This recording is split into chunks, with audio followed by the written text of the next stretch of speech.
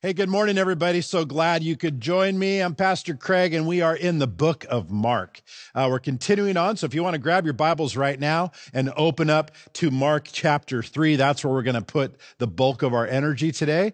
Uh, but let's just start with a question, kind of get you thinking. Have you ever been confused about Jesus? Have you ever been confused about him? Like, who is he? Or maybe you know somebody right now that is struggling to understand who Jesus really is. Have you ever been in that place? This is not a new problem. In fact, the idea of who is Jesus has been going on since he came to earth. And even the disciples, as we're finding out, we're trying to figure out just who Jesus is. And just to kind of bring it to the relevance, if you were to do a quick study and, and look across the spectrum of other beliefs out there, many people deal with Jesus differently. So here's some examples. Um, the Jehovah Witness claim that Jesus is the uh, the Michael the archangel, that he's a created angel, basically. And then if you go to the Mormon faith, they believe he's the spirit child or the brother of Satan. If you look at the Christian science, they say he's the offspring of Mary's self-conscious. Not sure how that works. The New Age say that he's a man, but he reached Christ likeness or Christ consciousness. If you study Islam, you would, you would uh, deem him to be a prophet. If you studied Hindu, you would say he was an enlightened guru. If you studied Buddhism, you'd find out he's an enlightened master. Some call him a good teacher, but the fact is, all of these cannot be the same truth. They can't all be the same. In fact, if you walked through these, you would find immediately there's a conflict about how you're supposed to see Jesus and what you're supposed to believe about him. And that brings us into our text today. If, if he cannot be all of these things, then the question we have to wrestle with, and then who really is Jesus? Who is Jesus? And we left off last week where Jesus was performing miracles. He was showing his power. He was showing uh, his authority. And the scribes and other leaders watched as he was uh, at a, at the, um, on the Sabbath, he healed a, a hand of this man. It was a crippled hand. There was something withered about it. And in this moment, he looked to these scribes and these Pharisees, these, these wise teachers, and he was grieved by their hardness of heart. See, despite what he was performing, despite what he was doing, they were not convinced on who Jesus truly was. And this is the challenge that we face today going forward. But where they left off was they plotted to destroy him. So determined to prove that he's not who he said that they thought maybe the best approach would be to end his life, to get rid of Jesus. And so I want to go through the story. I'm going to read a lot of the text today. We're actually going to read most of chapter three. So if you have your Bible in front of you or your YouVersion app or some way in which you can follow along, I'm reading from the ESV. I want to encourage you to do that. Um, I'm not going to pause as much as I do sometimes. Just we're just going to read through it together and get the context of the story. But there is one piece we're going to dive in for just a moment but we'll finish the fullness of that. So I'm not going to put it on the screens today. Um, if you're at the campus, it's inside your program. You can follow it there as well. Well, let's follow in now as Jesus first, uh, he just walked out of basically the synagogue. We don't know exactly how much time was in there, but just healed this withered man's hand. The Pharisees set out to destroy him, and we're back walking with the disciples. So let's walk with the disciples as they look at and we look at just who Jesus is. So, verse 7, chapter 3. Jesus withdrew with his disciples to the sea, and a great crowd followed him from Galilee and Judea and Jerusalem and Idumea and from beyond the Jordan and from Tyre and Sidon. And when the great crowd heard all that he was doing, they came to him. And he told his disciples to have a boat ready for him because the crowd, lest they crush him. For he had healed many so that all who had disease pressed around him to touch him. And whenever the unclean spirits saw him, they fell down before him and cried out, You are the Son of God. And he strictly ordered them not to make him known. So Jesus is on his way. He has these crowds that keep pushing in. And I imagine you, if you had a disease today, or you knew somebody that the opportunity to find healing, you would go to great lengths. And I think we see that happening as crowds are pressing in against Jesus. Verse 13, though, it says, And he went up on the mountain and called to him those whom he desired. And they came to him. And he appointed 12, who he also named apostles. That means sent ones. So he's, he's grabbing now the men of this, this group, many that are, that are following him, but he's calling specifically these 12, and he's going to name them the apostles, the, the sent ones. And he did that so that they might be with him, and then he might send them out to preach and have authority to cast out demons. He appointed the 12 Simon, to whom he gave the name Peter, James, the son of Zebedee, and John, the brother of James, to whom he gave the name Boanerges, that is, the sons of thunder. That's like a bike gang, the sons of thunder. It's a cool name that he gives them. These guys were, they were mighty. They, they weren't afraid to go and uh, maybe even pray to bring thunder and rain and fire down on people. And then verse 18, Andrew and Philip and Bartholomew and Matthew. And Matthew, we learned last time, Matthew was Levi, the tax collector. So this is now what you'll, he'll be known by as Matthew.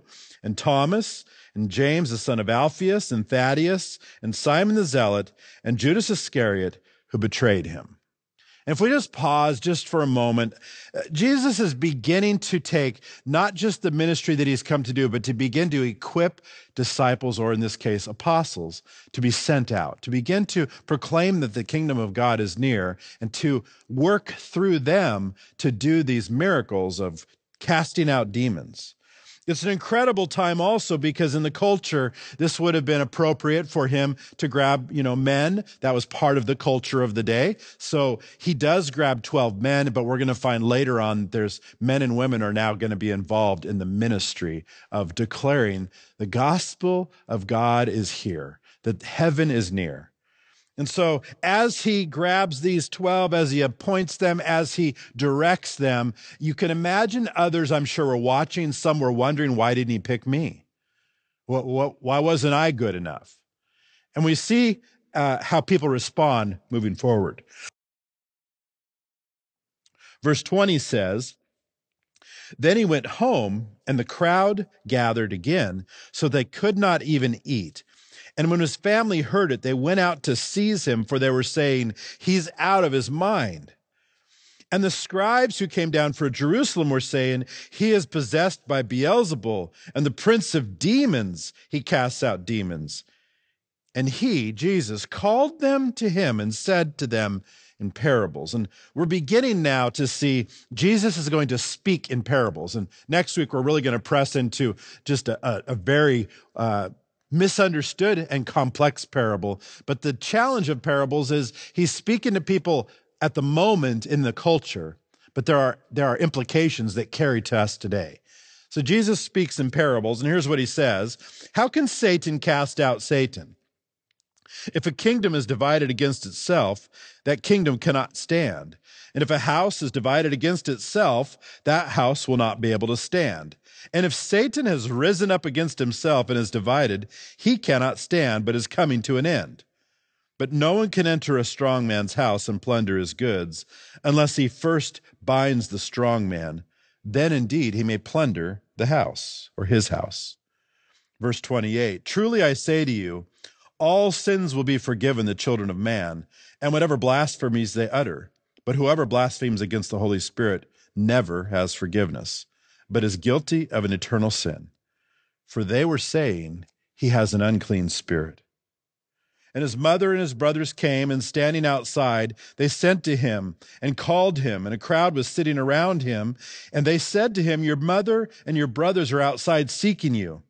And he answered them, Who are my mother and my brothers? And looking about at those who sat around him, he said, Here are my mother and my brothers. For whoever does the will of God, he is my brother and sister and mother. So we get the context of Jesus, and I want to go through this a little bit and kind of pull out some, some key concepts. And I want to start with looking at the responses of three different groups of people. Um, but let's lay the foundation of that. That first we see that Jesus is the Son of God.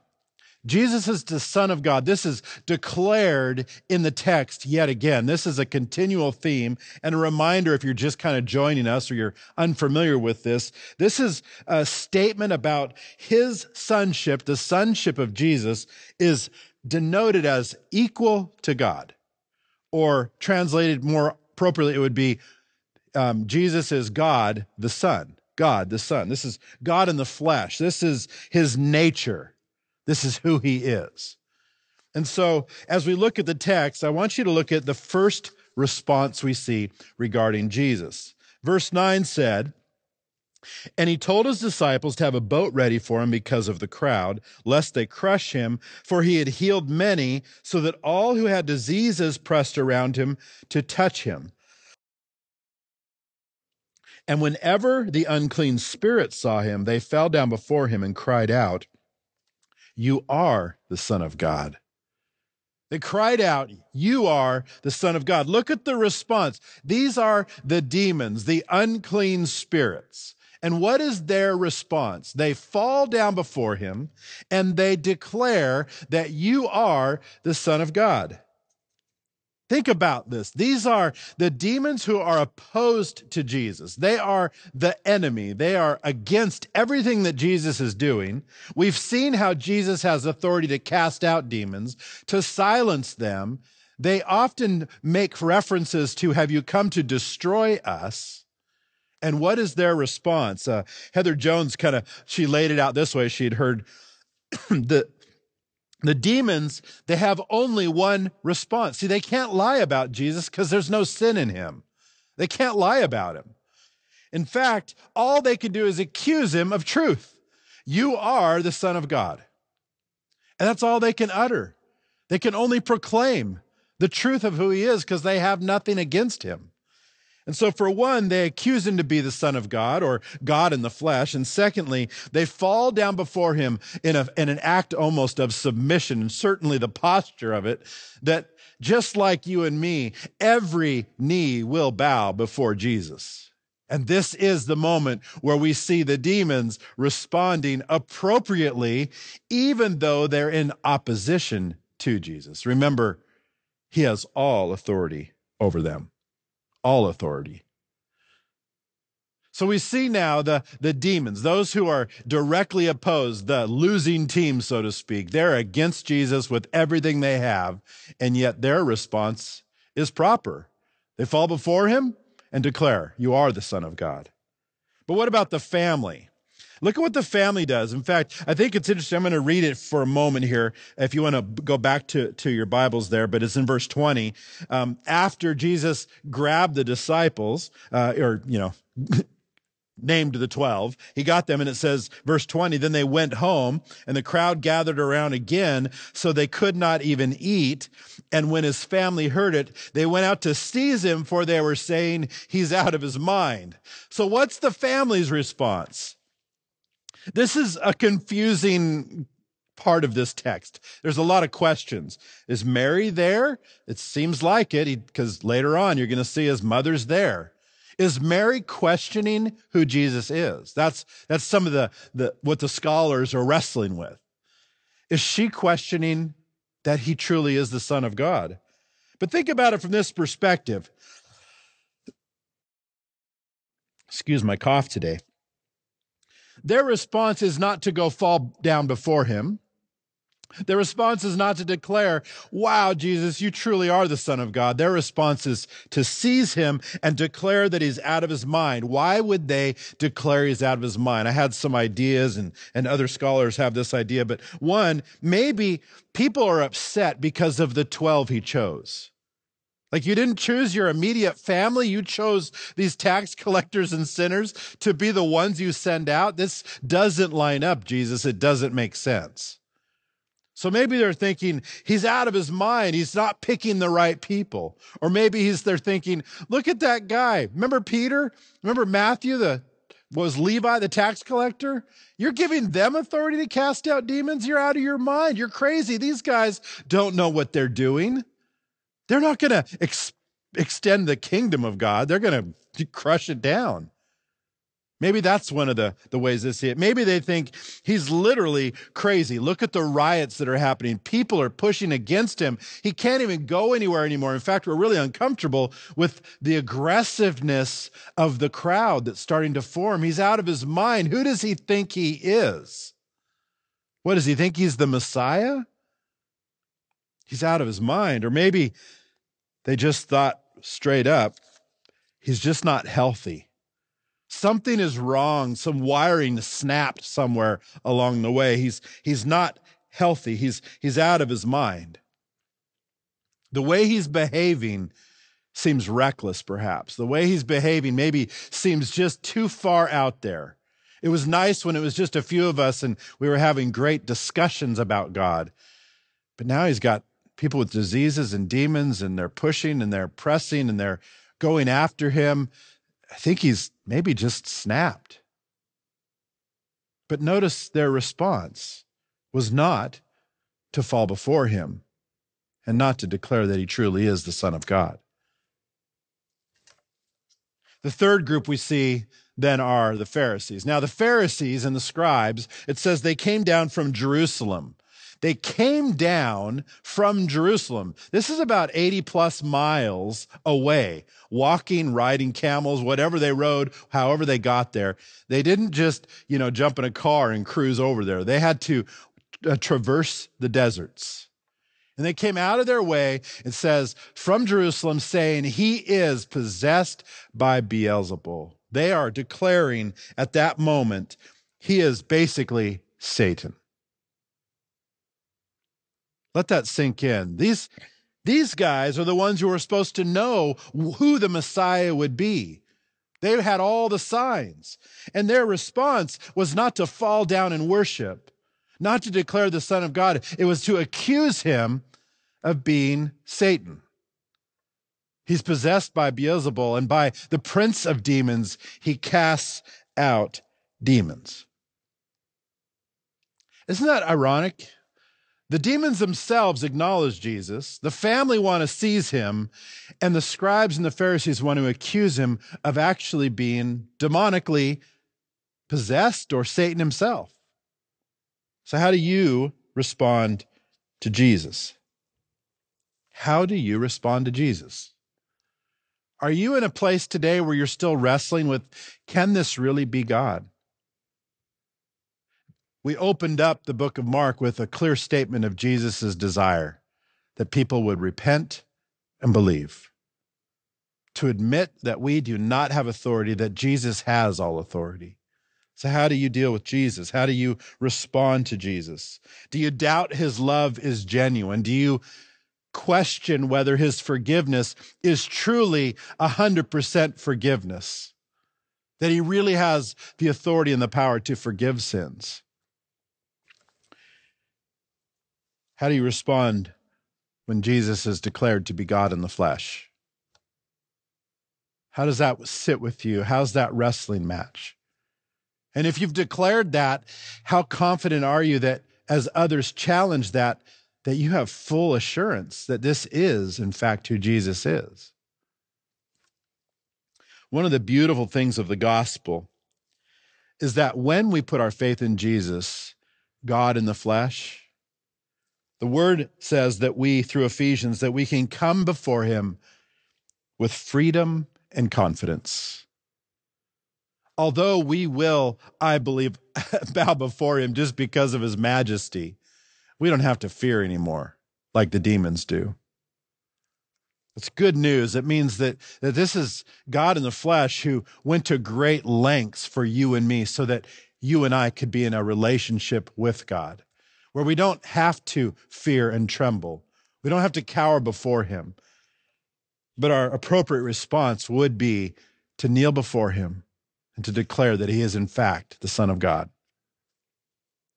So we've got demons who are pretty clear they know who Jesus is. In fact, he created them, it said, if you remember the teaching a few weeks ago. We have the family who wants to seize him, we have the scribes who want to accuse him.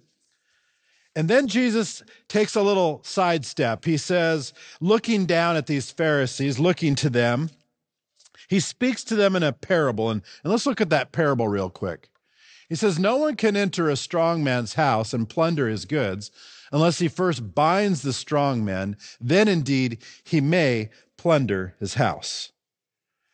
As Jesus faces the accusations that he's possessed, as he faces them, what he does is he begins to speak directly to the problem.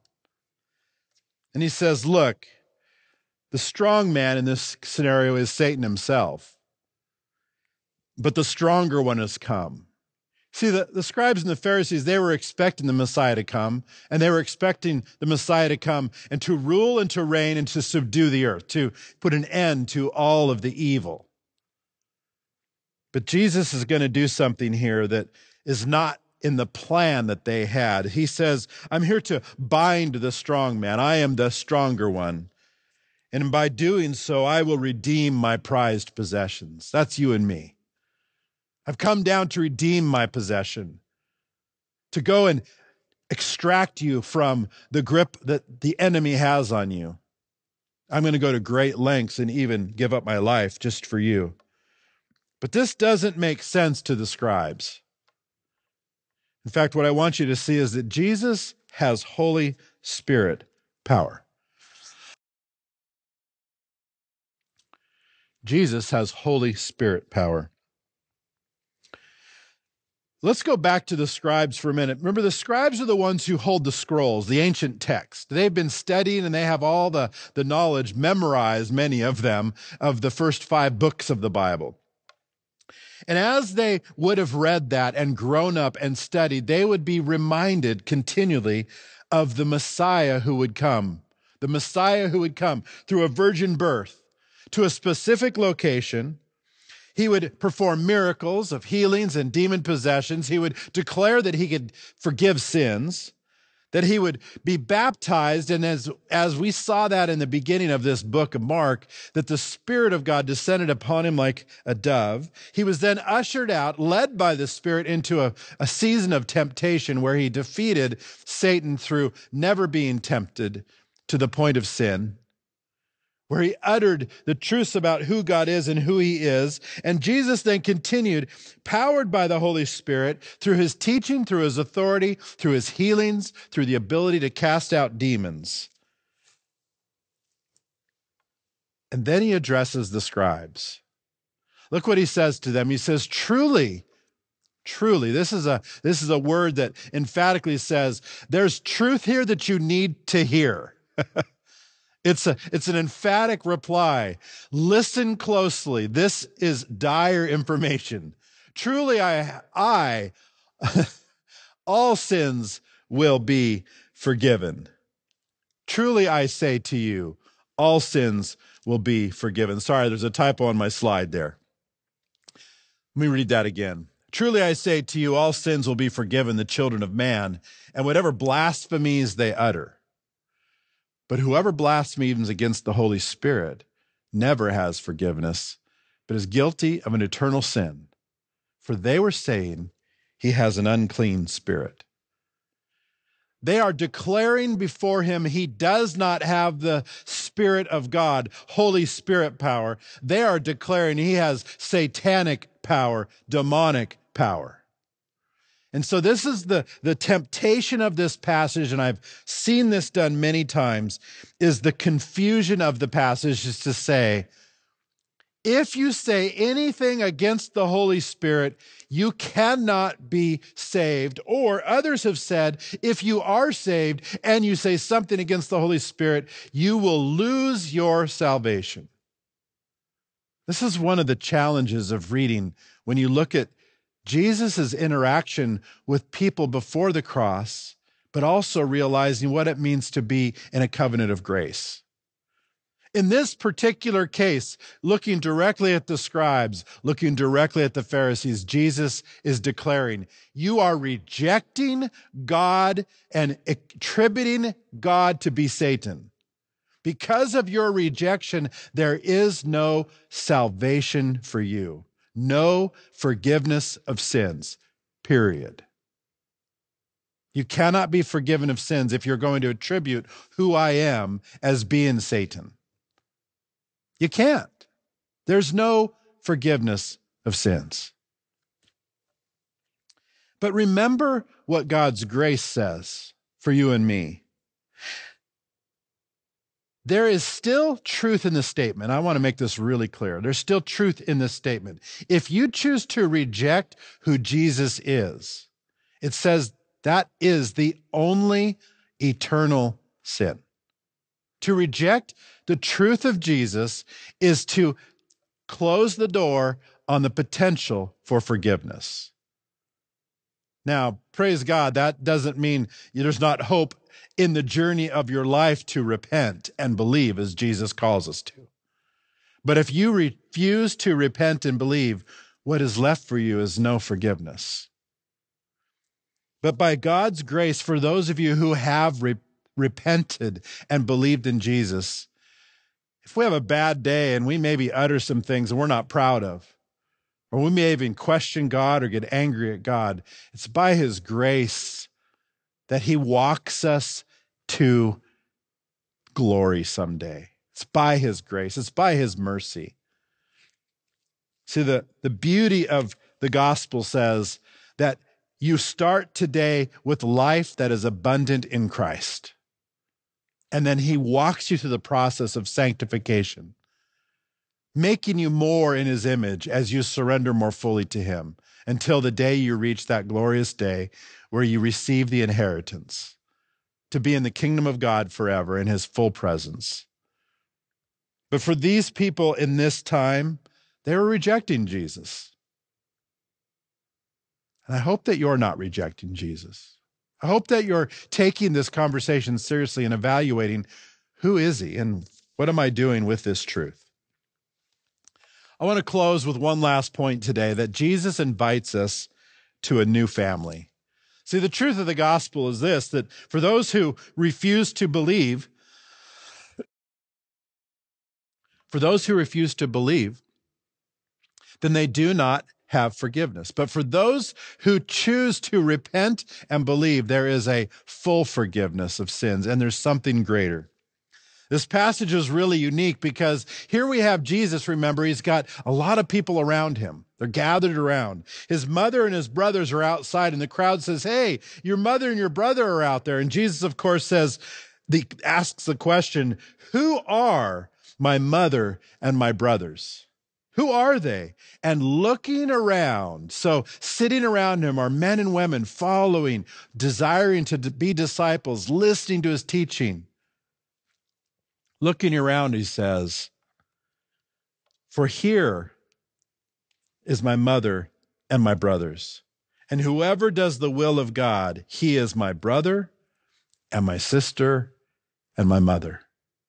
Whoever does the will of God is my brother and my sister and my mother. This is beautiful gospel hope.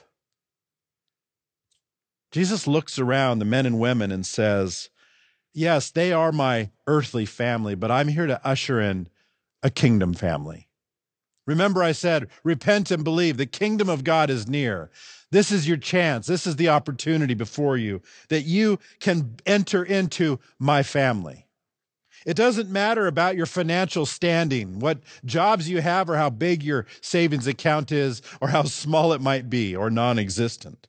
The limitations you might have, they don't keep you from this opportunity to be in the family of God. The, the culture you've come out of, or the language you speak, the clothes you wear, the people you hang out with, what you've done in your past, or who you think you might be in the future, none of that will withhold you from an opportunity to repent and believe and be part of this family. One family, one future, one hope. Jesus looks around, and today he looks around with you and me, and he says, Whoever does the will of my Father, you can be my brother, my sister, my mother. You can be part of this family. And people often ask, So, what is God's will? And Jesus has already declared that. if you would repent and believe. That is God's will. Repent and believe. Believe that the one who came is who he said he is Jesus, the Son of God. Believe that in him is life and life abundantly. Believe him that when he was on the cross and he said, It is finished, he really meant it. That a new covenant came where, in faith in Jesus, forgiveness of sins, complete and final, is given. We're ushered into a family with a new inheritance, with a new family, a new title, a new citizenship is granted. And hope that the day is coming when Jesus will return and we will all be together as one family. As the demons declared Jesus, as the family wrestled with him and wanted to, to take him in and demanded he was crazy, as the scribes declared he was possessed by Satan himself. How do you deal with Jesus? It's a simple invitation repent and believe. Love you guys. I'm going to release to the campuses. Talk to you soon. May God bless you. So, how do you deal with Jesus? My question today for you is what do you struggle to believe about Jesus? If you're watching this and where you're struggling is, can Jesus really be God? Can I encourage you to go back and read through the Gospels? Matthew, Mark, Luke, and John. Could you go back, spend time, an honest survey of what Jesus did to prove who he said he was? Remember, we're leading up. Ultimately, every gospel ends with Jesus on the cross being crucified because of his declaration of being God. So, where do you struggle or what do you struggle to believe about Jesus? Do you maybe today you're struggling to believe that his provision is truly going to be enough? If I surrender to him, what about all the other things I want to do? What about finances? What about what about my future? Maybe you're struggling with that. I want to encourage you to wrestle and take that before God and ask, God, help me understand your provision. Help me understand your forgiveness is complete. If you struggle to believe that Jesus can fully forgive you, I want to encourage you to spend time. So, one of the things that we are not so good at, I believe, is being willing to spend time with Jesus, to ask the hard questions, because oftentimes the questions we're most asking are the ones we already have an answer to. Jesus, can you really fully forgive me? The answer is yes, but the question is will you fully receive it? Let me pray for you guys today. Father, we thank you so much for your word. Thank you that in Christ we have hope. Thank you that he made a way for us to have full relationship with God the Father, to be indwelt by God the Spirit, and to have a deep connection to God the Son. Thank you for your grace and your mercy in our lives. I pray if anyone listening today does not yet know you, they would do the simple act of repent and believe, to turn away from their life, to surrender it fully to you. We ask all this in Jesus' name. Amen. Love you guys. Look forward to seeing you next time.